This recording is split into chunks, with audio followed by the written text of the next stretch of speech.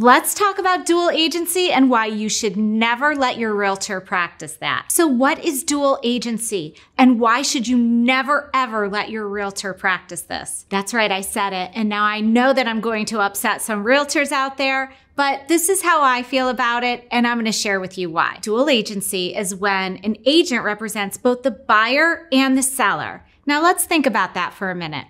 If I'm representing the seller and I'm supposed to be getting them the most amount of money for their house with the fewest contingencies, but I'm also representing the buyer that I'm supposed to be getting the lowest amount for the property with the most contingencies to properly protect them.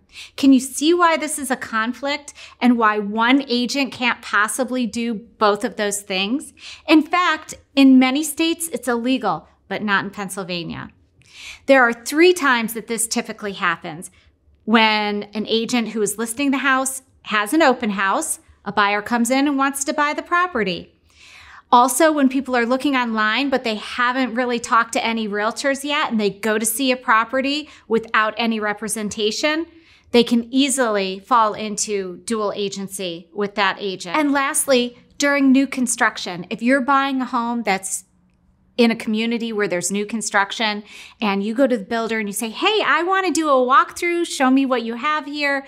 They then most times are not going to allow you to be represented by your own buyer agent. Now, some people say, well, why wouldn't I do dual agency? It'll save me money. No, it really doesn't save you money. If anything, all it does is the construction company or the listing agent gets both sides of the deals. So be smart, protect yourself, have separate agency, and talk to your agent about this and make sure this is what they're practicing.